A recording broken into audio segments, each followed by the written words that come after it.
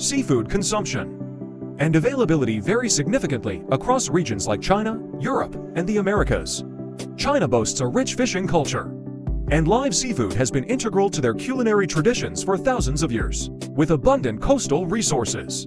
Live-to-table seafood is a common practice in Chinese restaurants, symbolizing freshness and premium quality. In contrast, Europe and the Americas have historically leaned towards preserved or cooked seafood due to cultural differences and a focus on sustainability.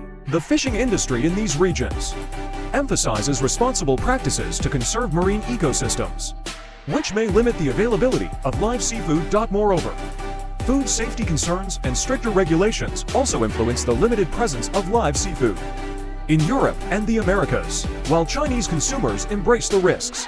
Western cultures prioritize health and safety when it comes to seafood consumption.